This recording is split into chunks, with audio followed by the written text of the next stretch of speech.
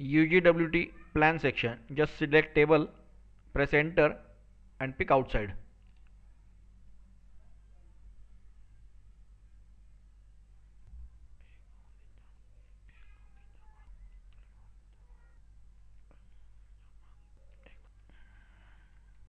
Combine footing section. Just single click.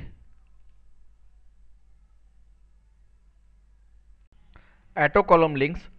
Just select column number column size and style and press enter and pick outside.